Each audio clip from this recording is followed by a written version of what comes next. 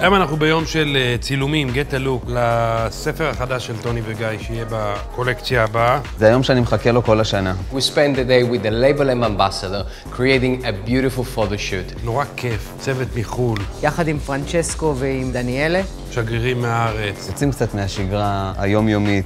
בעצם מביאים את כל מה שאנחנו לומדים כל השנה ליום אחד, מנקזים אותו בשביל ליצור מראות עשירים ומופלאים. משהו שלא ראו, משהו שהוא חדש. זה איסוף של חומרים, של השראות, זה לחפש את הדוגמנית המתאימה ללוק. שיסתכלו על התמונה, שיראו את הדוגמנית עם כל הפוזיציה, שנייה רגע יעצרו, מה הולך כאן? איך עשו את זה? מה, מה חשבו?